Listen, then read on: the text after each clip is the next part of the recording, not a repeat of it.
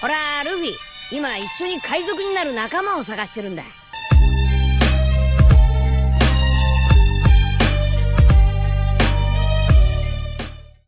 Hello guys, welcome to my channel The Wandering Zoro, your go-to destination for anime-related content.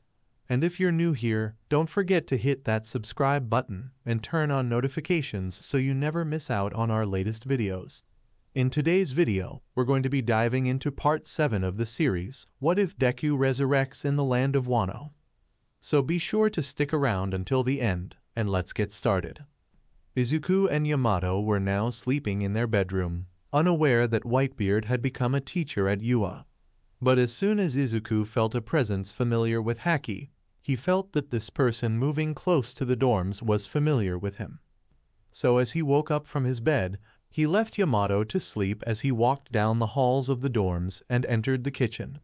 Sitting down at the table with a small cup of tea, he took a sip of it as he felt around for the presence that seemed familiar to him. In the time it took for him to get downstairs as well as make himself a cup of tea, the person who was vaguely familiar with him had arrived outside the doors. As he stared at the doors of the dorms, he watched as the person who entered was someone he definitely knew. So when were you going to tell me that you had taken down an opponent not even this All Might could take down? A familiar voice called out. Newgate-san? Izuku asked, tears brimming as he saw the mountain of a man. That's me, brat. Hee hee. I can't believe I was given a chance to come back to life, but I was surprised that I was brought here. Tell me, were you able to find some help? Whitebeard asked as he sat down at the table. I was, although me and Yamato left during the sports festival in order to take down All for One, Izuku said as he messed with his fingers. I guess that's to be expected. I wouldn't want my successor to sit on his ass and twiddle his thumbs whilst a very dangerous man was out there who only wanted to cause chaos, Whitebeard said, stroking his crescent-shaped mustache. So what happened after you died? Izuku asked, as Whitebeard chuckled. Ha, nothing much. Everything just turned black for me. But I woke up in front of this short woman who had these weird horns sticking up from her head. Although I did hit on her whilst I was reaching the highest point of age, she asked for an autograph in order to send me here. Whitebeard said, chuckling. I guess even in hell you have fans. Izuku muttered as Newgate couldn't help but laugh. You still haven't gotten the better of that muttering of yours? I would have thought you'd gotten better since the last time we'd met one another, Whitebeard said, belly laughing. Well, it's hard to get past my eccentricities, Izuku said, blushing. Well, let's table that conversation for another time. Did you finally seal the deal with that woman of yours? Whitebeard asked, with a knowing smirk. I did. Yes, Izuku said, blushing even more. I heard from Marco that you both were willing to do one another in the kitchen. I thought I told you that when you decide to take a woman you make sure it's in the room. Whitebeard scolded. It wasn't my idea. It was Yamato's. She wanted to know how it felt like to get caught in the act, although it caused me to pass out. Izuku said, as Whitebeard laughed even more. As the two got to work on recalling things that the other had missed, Izuku informed Whitebeard that his subordinate, Blackbeard as he goes by now, had managed to take some more devil fruits from two other pirate captains. And with that information Whitebeard knew that Luffy would become strong enough to take on his old friend. They also talked about things that Izuku had managed to learn whilst within UA grounds, and he was happy to hear that Izuku's time within the school had increased his confidence in himself. Not that Yamato was working overtime in their world just to increase his own confidence to take on threats. Speaking of the girl, where is she? I could have sworn she was here with you. Whitebeard asked, as Izuku pointed upstairs. Oh, she's still asleep? Whitebeard asked, getting a nod. Good, come with me. I need to see how far you've improved that devil fruit power I gave to you is. Whitebeard said, as they both moved out of the building. The two stood across from one another in one of the training gyms as they activated the powers of their shared devil fruit. Whitebeard had watched as Izuku had noticeably gotten slightly taller when he activated the power of the Quake Quake fruit. The boy had increased slightly in height as he threw a punch into the air, causing it to crack as a massive crater was formed. He then did the same as he showed that his crater was much larger than Izuku's by comparison, and he smiled when he did the comparison. Izuku's crater was just slightly smaller than his own, meaning that Izuku had learned a lot of how to utilize his power. They then decided to forego the whole devil fruit power usage, as they switched into the utilization of Haki as they stood across from one another. Whitebeard then decided to see how well Izuku could withstand the whole Conqueror's Haki that he taught the boy early on in his training. Kaido had done many things in the past, but teaching Izuku how to utilize the power of Conqueror's Haki was not something he'd done, so he was expecting Izuku to immediately fall to the ground as he struggled to withstand his Haki powers. He was definitely surprised when the boy was able to counter his own Conqueror's Haki with his very own. Their Hakis clashed with one another as a small shockwave was made from the two clashing, and Izuku's body slowly was pushed back, but he stayed as still as possible with a serious look. As soon as Whitebeard decided to call off the Battle of Conqueror's Haki, they both dissipated. You've trained yourself well enough to handle most villains. That's good kid, now I need to see how well you fight against someone who uses their full strength without their powers. Whitebeard said as he got into a combat stance. Izuku mimicked the same. Without a second to prepare, the two launched towards one another their speed making them blurs. Whitebeard threw a swift right hook towards Izuku, as the young man dodged the blow throwing a side kick at Whitebeard's side. The older and much more experienced man had caught the leg before tossing Izuku into the air as he started to fall. Izuku had decided to just roll with the fall as Whitebeard had gone to throw another punch towards his stomach. Izuku tanked the hit as he used his arms to wrap around the man before sending a kick into Whitebeard's face. This caused the older man to skid across the ground, still standing. He smirked at the boy before the two disappeared once again as they clashed in the sky. Whitebeard had thrown a kick this time, using his much taller frame in order to take advantage of Izuku's short stature. But it appeared that the young man had done the same, except in reverse. He used his short stature to be able to dodge the attack before he sent a punch towards the kneecap that was swiftly dodged. Moving faster than the eye could predict, the two moved about the gym as if they were dancing as they dodged and countered attacks the other would throw.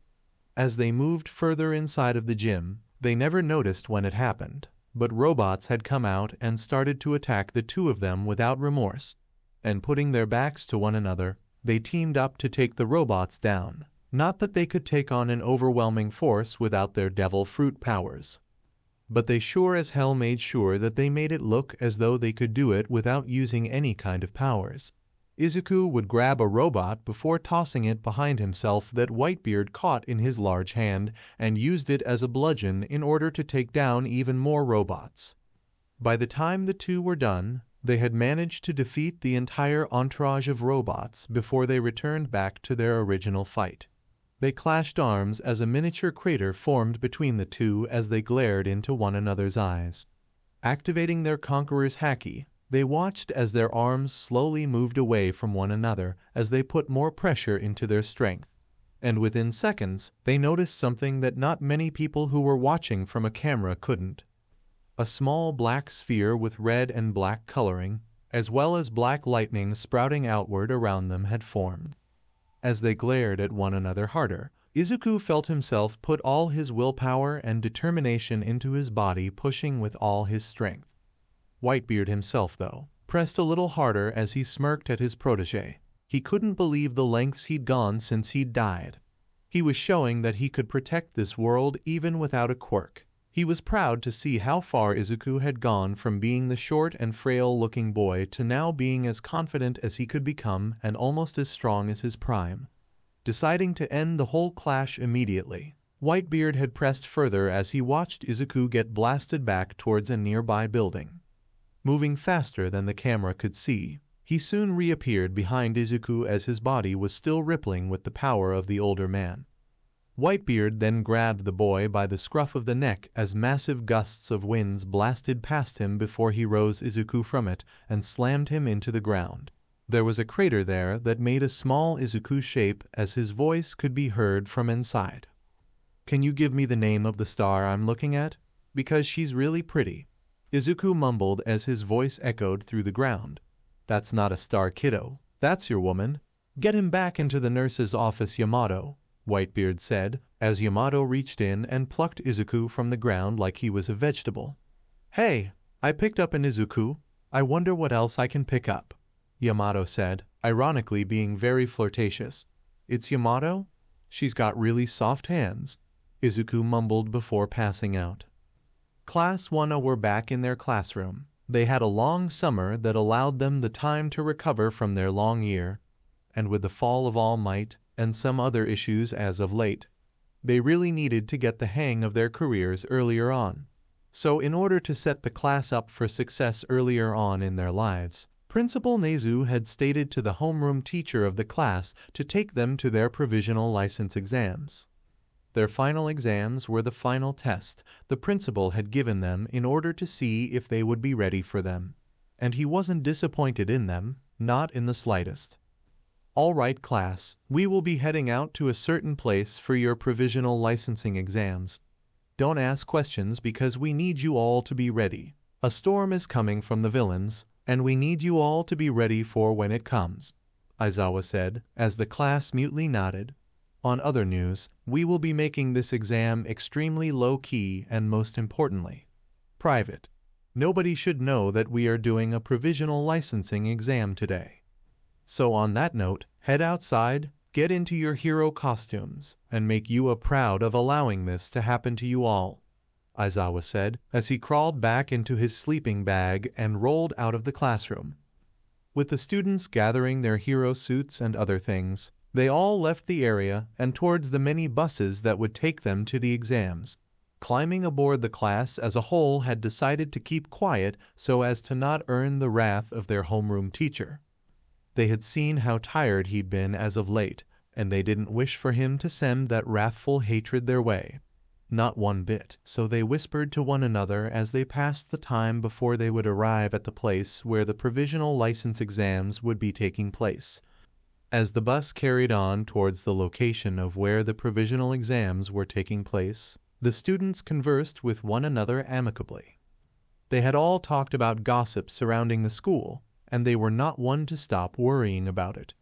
But there was one specific rumor that was moving about the rumor mill around the school, and that surrounded who their new teachers would be based on the information that was placed on their schedules. An advanced lesson on Haki training, and many other powers that they weren't aware of. About five hours of driving later, the UA students of Class 1 had finally arrived at the building where their exams would be taking place stepping out of the bus as soon as it had stopped and opened their doors. The students of Class 1A of UA High School found themselves at a very large building. Many other students from other schools were making their ways towards the massive building where their exams were taking place. Walking over towards the opening doors of the building, Class 1A were accosted by some students who came by. Hey, are those the students who were at Kamino Ward? A random student questioned. Hey, yeah, you're right. We have seen them before. Another student said. The two who arrived were wearing their respective hero suits. One was wearing green slight armoring as he had black hair that was messy if anything else. The girl had been wearing a blue tight jumpsuit that gave little to the imagination of those looking her direction. She had light tan colored hair and blue eyes as she smiled at the group of WANA students, but there was something hidden behind that smile. Nice to meet you both. We are indeed from the Kamino Ward incident. My name is Midoriya Izuku, and this is Yamato. Izuku introduced himself and Yamato. At least you guys are kind as well. Name's Yo Shindo, and I hope to become great allies later on the line. The young man said, shaking Izuku's hand. The moment their hands were shaking, Izuku did notice a faint increase of grip strength as the young man was gauging his opponent so Izuku naturally just allowed him to think that he was not that much of a threat to this young man. He would find out in battle. Entering the building had everyone pause for a second before they were given a written test before entering the practical. After a fair few hours of written testing, everyone was moved into the practical fighting arena separated by differing schools. UA was standing in their small corner as they were thinking up plans for how to survive the first part of the licensing exams. Izuku particularly was not listening to the rules being placed as he thought up a plan. His mind was going a million miles an hour. He wanted to make sure that everything he did was not going to damage those nearby, and he wanted to show his power but let those who'd watch him that he had its full strength under control. And not too much longer later, the battle was beginning. Izuku appeared with the rest of his class as they stood in a rocky area. He knew that something was off when multiple schools had foregone attacking one another and instead teaming up and heading his direction. Looking to Yamato, it appeared she noticed their movements as well and was now informing everyone what was happening. As soon as Izuku found Yo Shindo standing on top of a cliff, he found the young lad staring down at him with a malicious grin on his face. Sorry, UA, but this is where you all fail. Try again next year, he said, as he and his allies started throwing the orange balls in their direction. Not if there's anything I can do about it, Izuku called out. He thrusted his fist out into the open air as Yo and the rest of his classmates watched as the world itself featured a few cracks in the air. As soon as that happened, the world around them all started to crack all over the place as rocks started to be blasted apart. Once the attack finished, Izuku had jumped into the air and was now looking at the school kids that attacked his own.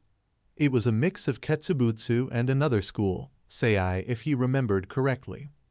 Sorry, Shindo-san, but I believe it's time to show you the real power behind my quirk, Izuku said, as he pulled his hands into the air as if grabbing it.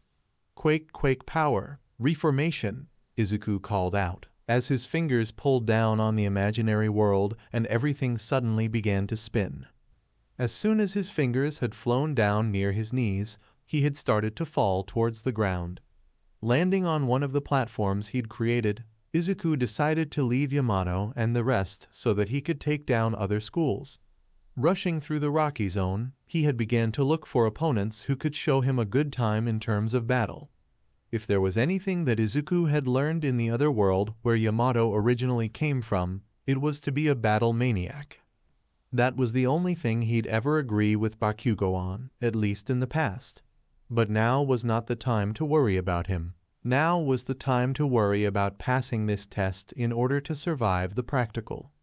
Yamato was now all alone with the girls of Class 1A, and she was definitely feeling the presence of nearby opponents making their way towards them. Luckily, because of her observation haki abilities, she was able to pinpoint their locations so that Momo could create weapons of mass destruction in order to defeat them easily. Unfortunately for the girls, they were placed on the highest point of the arena and were now public enemy number one. Had it not been for Izuku's presence on the ground, after all, since he was near the floor, he was going to be that enemy. But it didn't stop others from attempting to get up there, though. Izuku ran through the buildings of the Broken City Zone. He had taken down multiple opponents with a smile on his face. It was here that he heard the intercom state that a young man by the name of Yoarashi Inasa was moving on to the next practical test part. Increasing his speed, he made sure to appear and disappear around certain students from Shiketsu High and others, building up his count of students he'd defeated. He was about to run off to take down a few other schools when he heard the intercom shout out his name. Will Midoriya Izuku please exit the arena? You have already maxed out the amount of students you can eliminate. A voice called out, causing Izuku to fall through the floor. Once he was in an area without anyone else present, he found himself in the waiting area for students who'd passed the exams, and he was surprised with how many people weren't here. Currently, it was only him and about three others, and Yamato was there too. Somehow, she was able to defeat many more people than he was although considering the fact he had managed to get her and others to safety might have made them a target. He wouldn't take back his protective stance any day. So now here he waited until the next part of the exam was set to begin. All that needed to be done was wait for the rest of the students, and from what he was watching, they were all doing extremely well. That was until he saw a very familiar face moving around with the Ketsubutsu students. They had shortened ash blonde hair, ruby red eyes that glared at anything and everything they could see. But there was something off about him now. He wasn't growling and scowling at everything around himself. He was more at peace with himself, so much so that Izuku felt a thought coming to mind so fast he almost didn't catch it himself. Did you really come here, Bakugo? If so, did you get over your ego and inferiority and superiority complexes? Izuku kept a very close eye on Bakugo for the remainder of the first event. He had been watching the boy as he took out students from other schools. He had been very meticulous about how he took them down as well. He never killed any of them, but that was beside the point. Bakugo was a villain that Izuku saw back in the USJ, so what was he doing here in an event where students attempt to get their provisional hero license? That would be found out soon enough as the boy was walking towards Izuku, having gotten enough points to pass on to the next part of the exams. He was walking towards Izuku's direction when he finally took notice that Izuku was watching him from afar. Giving a smug smirk, he walked over to the boy as he stood in front of him now if there was a tension before he showed up, it was not noticeable, but now, it was as if a hot knife could cut through it and chaos would ensue, and Izuku was openly glaring at Bakugo with a fiery passion. What are you doing here, Bakugo? I thought you left with the League of Villains, Izuku demanded. What am I doing here? Well, I'm here to learn how to become a hero, unlike you. Bakugo retorted with a chuckle. Oh yeah, and tell me, do heroes attack other hero schools? Do heroes bully others for an entire decade of their life? Do heroes kill others because of the fact that they don't like a certain part of them? Izuku questioned his tone becoming more and more furious. What can I say? At least someone likes who I am. And unlike you, I will be getting my provisional hero license.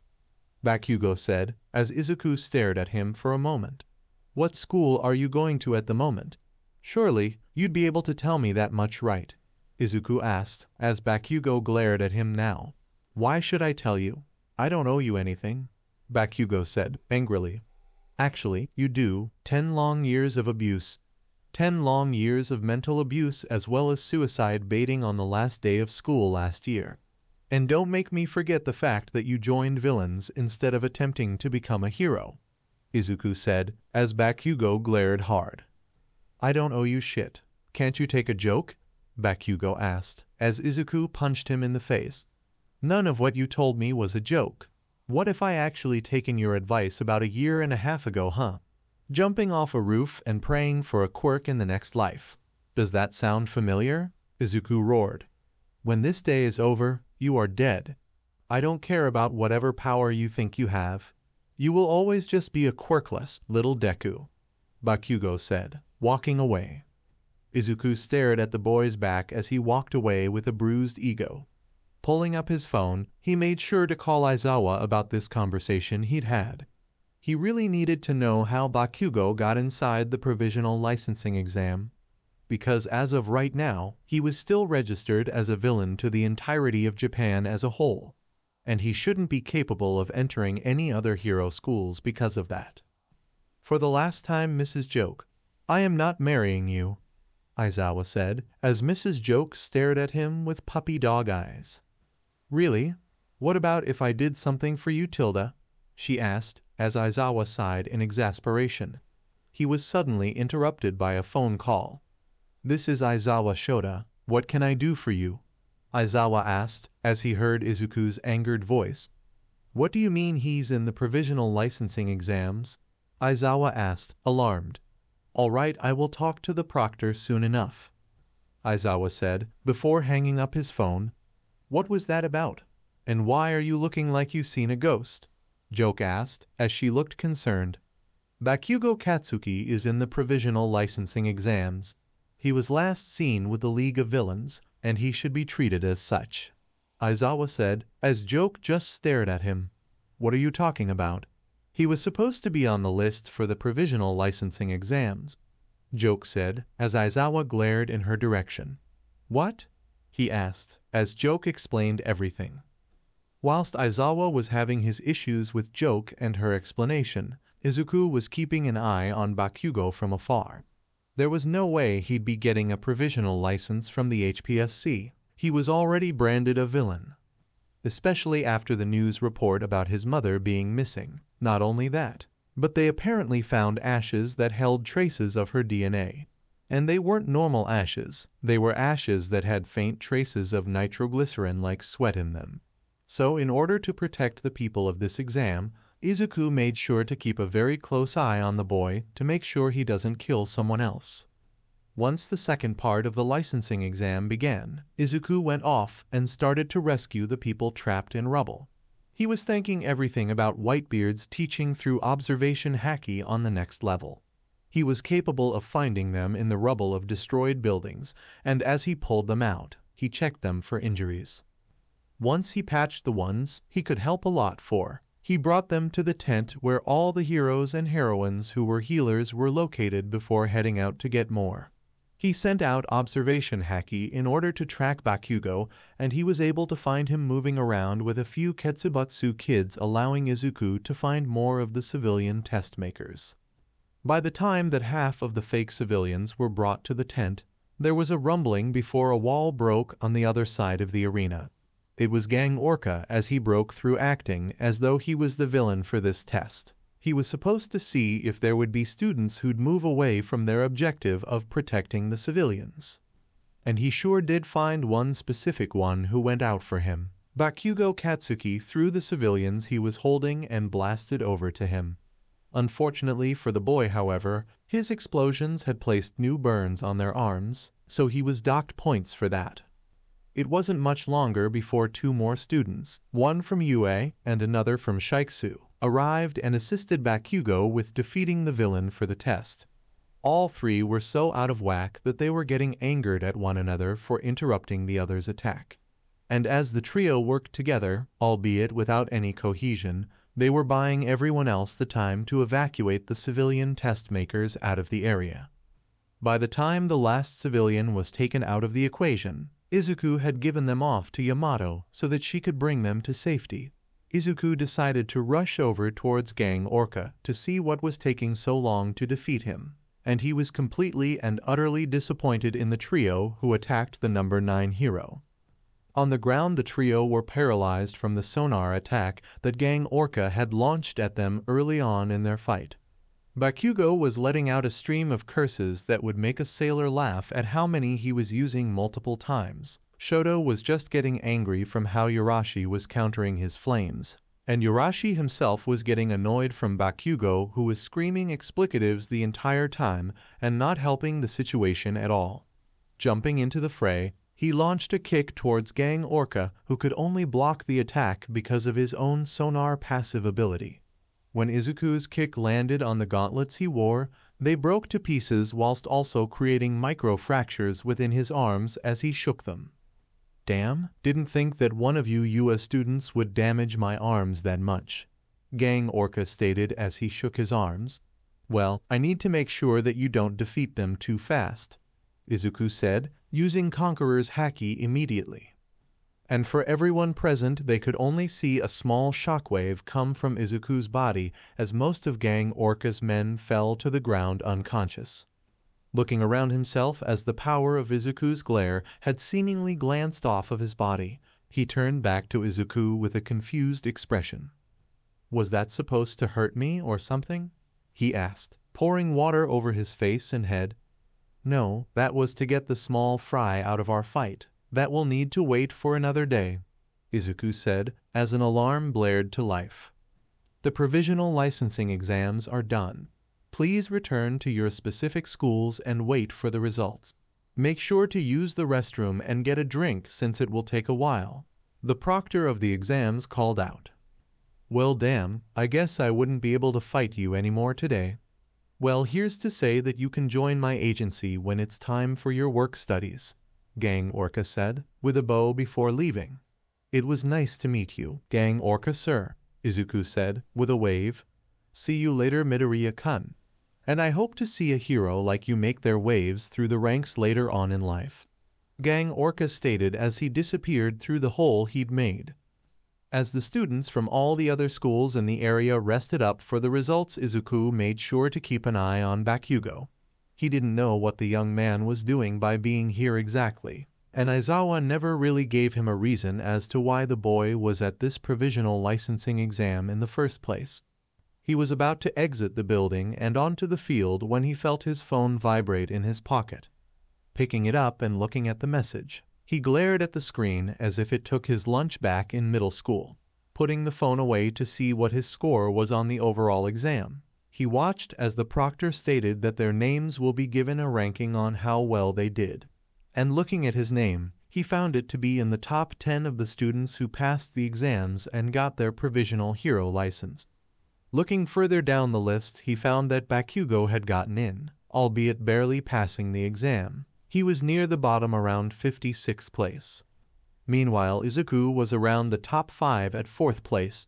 Needless to say, Izuku could hear Bakugo fuming in the background as he growled to himself about how he was supposed to win this stupid test. When he left the building, Izuku found himself and his class getting on the bus to head back to UA. He was looking at his phone again as he stared at the specific message that Aizawa had given him at the moment, and he seriously couldn't believe his eyes when he read it over and over again, hoping and praying that it wouldn't be saying what he thought it was, especially considering the evidence they had on hand for Mitsuki Bakugo's death, especially because of the ashes that had nitroglycerin inside. The message read as follows. Midoriya-kun, I don't know how to explicitly tell you this, but I will just be blunt on this endeavor with you. Considering your past with Bakugo, do not provoke him. He is on probation at Ketsubutsu High School, and I have a feeling that he is using the fact that he is a villain to use their rehabilitation abilities within their school to become a hero. But that's not all. Apparently, there is a group of quirk supremacists who are assisting his rise to heroism. I can only hope that you are not near the boy at this moment because Joke just told me that there was nothing we could do to save him other than allowing him to get what he wants, or killing him outright. Izuku was taking out the trash one day after the provisional licensing exams. He was thinking about who to work under for the work studies since his grades could take the small lowering whilst he was gone. He was about to throw the trash away into the trash can outside when he saw a weird looking face sticking out of the wall. It looked at him with a happy smile before Izuku just looked kind of creeped out before he shook his head before asking a question. Um, who are you? Izuku asked. Don't worry about my name. I just wanted to see the guy who left UA and came back after a hard-fought mission to defeat that Kamino Ward villain. The face said, causing Izuku to bristle. Are you stuck in that wall? Izuku asked, worriedly. Don't worry, I'm just using my quirk to look at you through the wall. And I gotta say, you don't look like the rumors say. You look even more adorable than what they tell about you, the face said, happily smiling. Okay, but why did you want to see what I looked like? Izuku asked, his face resembling a confused puppy. Because people said that you looked more akin to an adult with how you fought. But no matter, you will find out who I am in class today. I hope you're ready to meet your senpai later on today the young man said, before disappearing back into the wall. Huh, strange guy. I wonder what his name is.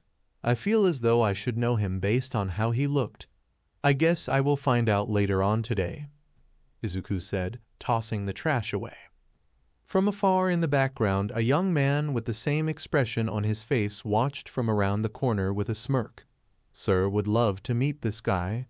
I can't wait to have him be showed off to him the young man thought to himself before jogging away and back towards UA.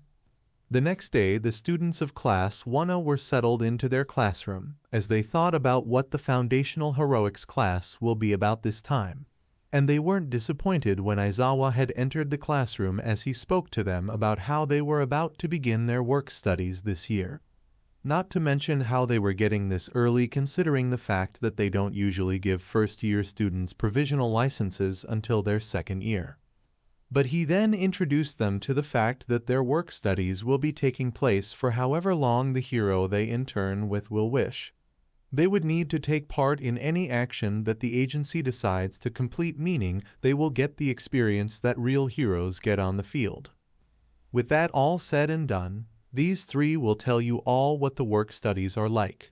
You three can come in now, Aizawa called out, before hiding himself behind his desk. As soon as those words were uttered, the door opened to reveal the young man that Izuku saw the face of the other day, followed by a girl with light blue colored hair as well as blue eyes, and a young man who was taller than her who had indigo colored hair and dark eyes as he looked timid. He was so thrown off by their looks that he looked to Yamato to gauge if they were really strong or not.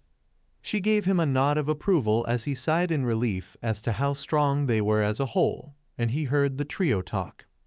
Well, I already met one of you yesterday when they were taking out the trash, but my name is Togata Mirio, and I am the hero Lemillion. The blond boy with a cowlick called out happily. My name is Hado Nejire, and my hero name is Nejire Chan. Nice to meet you all. I would ask you all about your quirks as well as who you are, but we're on a timetable. The girl, Nejire said. It was silent for a bit before the last one. The indigo-haired young man just looked at the class before hiding behind Mirio as he mumbled his name. Amajiki Tamaki, and I am the hero Sun Eater. Nice to meet you. Can I please go home now? He both introduced and questioned. Denied. Mirio called out happily. He's so timid. The entire class called out the young man, Tamaki's antics. All right, class, these are the big three of UA. We are going to have a small battle outside in Gym Gamma. Now get your hero suits on and meet them out there, Aizawa said, leading the trio out the doors. Within minutes, the class had followed suit, wondering how their day would possibly get better or worse with time although they never noticed nor heard the cackling coming from Principal Nezu's office as he watched them with their confident grins on their faces. I do love showing those overconfident students the pecking order. Come on, Big Three, it's time to show them why you are the strongest of the school, Nezu said, cackling as he tipped his tea onto the floor. As the entirety of Class 1 a left the area to begin their battle against one of the big three students of UA. Izuku was with Yamato thinking about everything this young man could possibly do against the class as a whole. Izuku knew that the boy was strong. He could easily tell that by his aura when he stood in front of the class. He changed into his gym uniform as he dressed himself to be similar to Whitebeard in homage to the man who gave him hope. He exited the changing room as he found himself and Yamato being the first two people on the field next to Aizawa the man as quiet as possible as he slept on the bleachers nearby whilst they waited for their classmates. The rest of their class arrived in their gym uniform as well, and they found themselves standing in front of the big three who were also in their gym uniforms. Standing in the middle of the gym, they found themselves listening to Aizawa as the man told them about how Mirio was the strongest student they had within UA as a whole. He then told the class that they will be fighting him just so that they could get an idea about how hard the work studies they will take part on will be. And within moments the class stood in front of Mirio as the young man was stretching in his uniform. All right, so is there any rules to this kind of spar, Aizawa-sensei? Mirio called out, No. All's fair in love and war. Make sure that you teach them the lesson of how harsh the work studies actually will be. Aizawa said, leaning down on the ground in the background. Well, who's first? Mirio asked, with a smile on his face. Jiro went first as she sent a lot of sound waves at him with her ear lobes. But as soon as they were about to reach him, he suddenly disappeared from sight, leaving his clothing on the ground. Izuku could hear Aizawa sigh in the background as he felt out for where Mirio was and once he got a lock on the young man's location, Izuku looked in the direction of Jiro. Well, look who's first. Mirio called out, swinging a fist towards the girl's neck. He couldn't get the attack off as he saw Izuku throwing an attack of his own at Mirio, who just disappeared into the ground once more. Jiro looked at him with shock as well as fear before she and some others moved towards him and Yamato in terms of the fact that they could sense where Mirio was located. Don't lower your guard. He can phase through anything, Izuku warned. Then let's freeze the ground, Todoroki said, before he felt his stomach caving in on himself. I think that would be a very not nice thing to do, Todoroki-san, Mirio called out before falling back into the ground. Fifteen minutes of fighting later, the only people still standing in the middle of the training field were Izuku and Yamato. With the duo being able to cover their backs, they had been more than capable of finding where Mirio was located with observation haki. And whenever he came up from the ground, the two would be there to counter his attack before he could even come out of the ground. By the time the class's time was almost over, he called the fight off because it would be just a draw due to Mirio not being capable of leaving the ground and Izuku and Yamato being incapable of stopping the young man unless he ran out of breath. As you all could see, Midoriya and Yamato were the only ones who were prepared enough to fight Mirio. Can any of you all tell me why this is? Aizawa asked. Because they have some kind of ability to sense him. Yaoyorozu questioned. Is this true? Aizawa asked. Yes, in the world where Yamato originally came from, we learned an ability to sense where one could be located, no matter if they hide their presence or if they are just that good at sneaking around. It's called observation haki, and it can allow you to see who and what is attacking you before it even happens, Yamato said with a smirk. Well, I wouldn't state anything less of my two students. A gruff voice called out from behind the wall. Whitebeard, what are you doing here? Aizawa asked looking at the nine-foot-tall man. I just wanted to see what the ruckus was all about. And it turned out that my students were showing off some of their skills for the first time. I can't help but watch it with my own eyes. Eraserhead, Whitebeard happily said, pulling out a large barrel of sake. The students around them all stared at the tall man with concern as well as awe. They had never seen someone who was taller than All Might naturally and to see this man do it so casually made them wonder about what else he could do. But that was for later, as the big three decided to leave the area and make themselves scarce. Izuku, however, noticed how Mirio was looking at him for a moment before walking away from the area. Izuku looked back to Whitebeard as he talked to his mentor about how he used the Gura Gura no Mi and asked if there were safer ways to use it. Over the rest of the day, the students of Class 1 were thinking about who to join for their work studies, and Izuku was not present in the classroom as he was training how to use his Gura Gura, no Mi, without causing too much damage to the area. It was here that Mirio would come up to the duo as he watched them both use their earthquake powers to their maximum. And he could see just how outmatched he was in pure strength, as well as control over his own power. Rushing over to the two, he stood nearby to watch their fight, gaining the attention of Whitebeard, who stopped the fight immediately. Why are you here, and what do you want? Whitebeard questioned. Oh, don't worry about me, sir. I just wanted to ask Midoriya something. Mirio said, as Whitebeard nodded. Is there something you wanted? Izuku asked, as Mirio nodded. Hey, I just wanted to let you know that my mentor, Sir Nighteye, he used to be All Might's sidekick, and he wanted to know if you'd like to be his intern for a work study. Mirio questioned, as Izuku thought about it. Well, it could help me with gaining more experience against opponents who are more into the investigative side of heroism, Izuku thought to himself. Can I have some time to think about this, Togata-senpai? Izuku asked, as the young man nodded. I will give you until the end of the week, Kohai. See you later, Mirio said, running off. Good kid, now let's see that full power of yours, Whitebeard called out. A week soon passed as Izuku finally came to a conclusion about Mirio's proposition. He was looking for his senpai when he ran into Nejire who was rushing around the place searching for a couple of people. When she came across him, she asked him a bunch of questions which he answered in earnestness.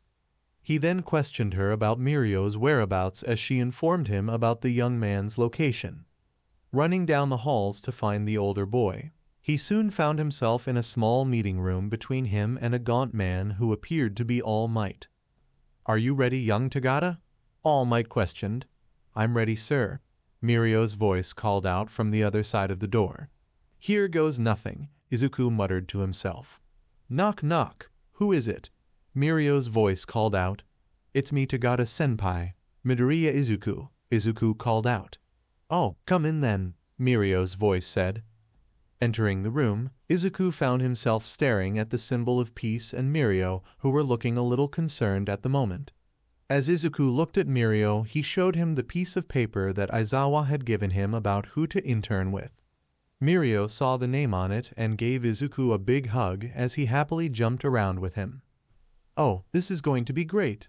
I can't wait to show you around the city as your senpai on the field, Mirio said, happily. Senpai, I should really get back to my class. I'm sorry for disturbing your conversation with All Might, Izuku said as he rushed away from the room. You could have handled that situation better, you know. Whitebeard's voice called from another room. I know, I just don't know if he knows about my gaunt form. All Might said as Whitebeard chuckled. If he knew about it already, then he hasn't told anyone about it. Whitebeard said, slapping the man's back. I guess you're right, All Might said, before moving back to Mirio. Down the hall Izuku was having an existential crisis as he felt as though he should have asked the number one hero for an autograph. But shaking his head, he needed to get back to class. He wanted to see who Yamato would be going to for a work studies.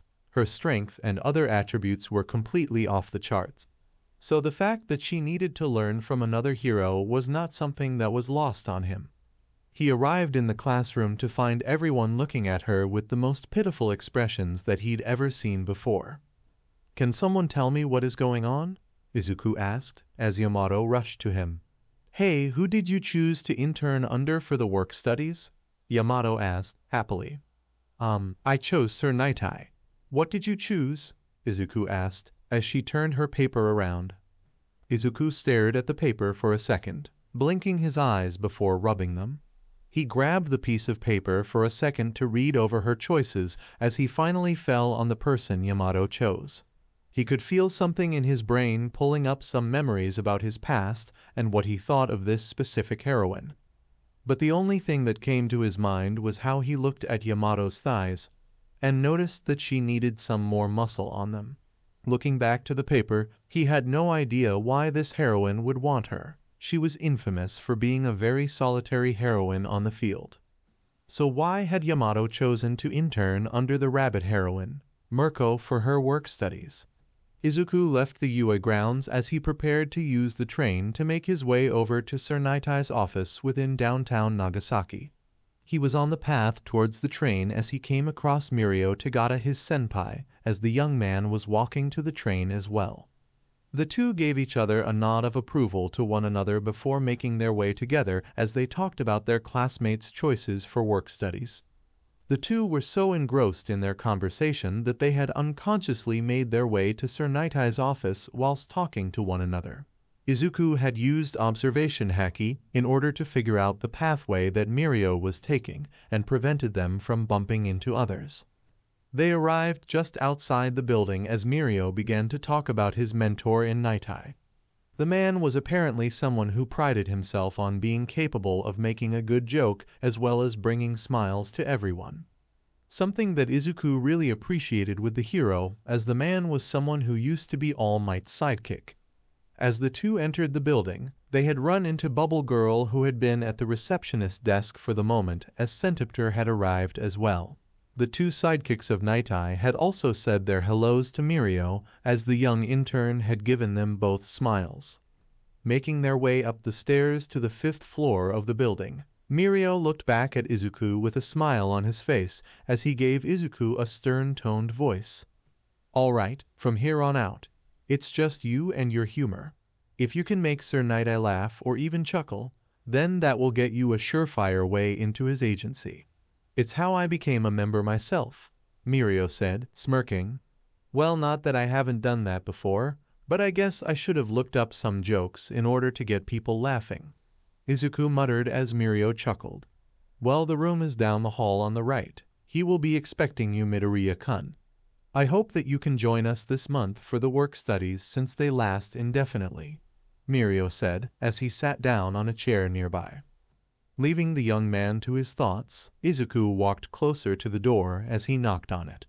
He heard movement inside as the voice inside called for him to enter inside of it.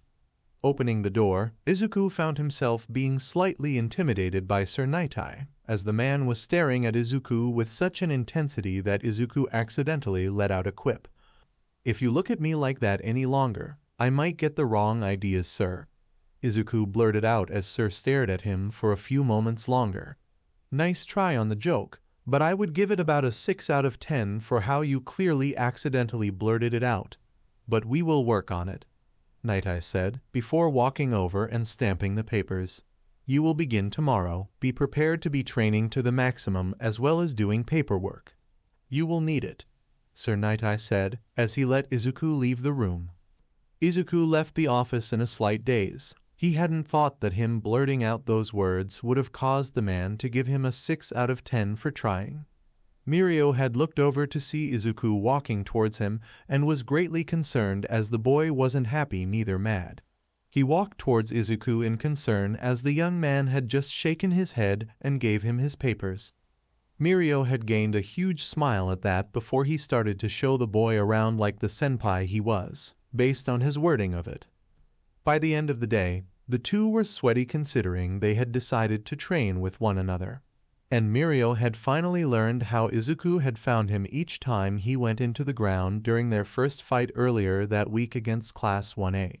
Izuku informed Mirio that no matter who you are, nobody could get past a skill he learned in another world called Observation Haki. Stated that anyone can learn it so long as they're around someone who uses Haki long enough. By the time they got to their separate bedrooms, Izuku was pulling up his laptop in order to call up Yamato to see how she was doing. And as soon as he pulled up the call button, he found that he was getting a call from Yamato instantly. So, he opened it up and was clearly not expecting to see what was happening on the other side of the camera.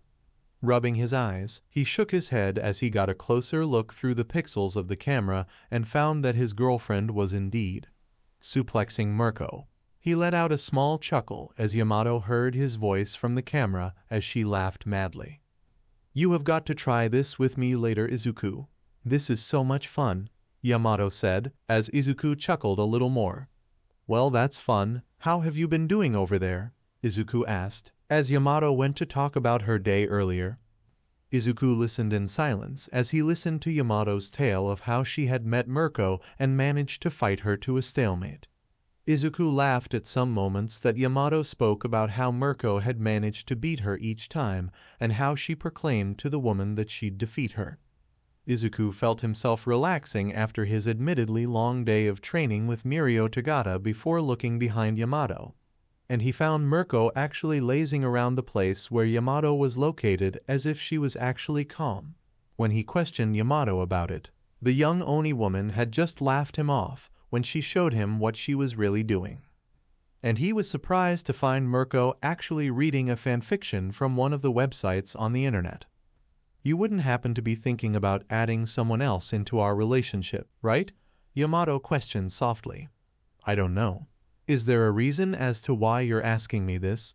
Izuku asked, as he looked concerned. Well, I don't know why, but I am feeling this weird feeling in my chest around Mirko and I feel as though I should act on it. Is that a bad thing? Yamato asked, as Izuku shook his head. That's perfectly fine, Yamato. It's just a crush that you're feeling at this point in time.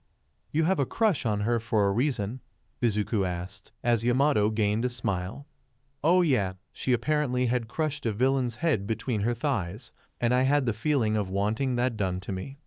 Yamato said as Izuku just snickered. Well, that's what happens to everyone when they see her do that. Everyone wants to have her do that to them because they think it's really hot. Izuku said, trying to find the right words. Would you like her to do that to you? Yamato asked. Nope, I know that my head won't handle that. I'm perfectly fine if you want to do that to me, though, Izuku said, as he smiled at Yamato. Well, I guess we'll have to do that when we both return from our work studies. Yamato said, with a smile as she turned off her connection. Izuku sat in his chair as he thought about the conversation about another partner in his life.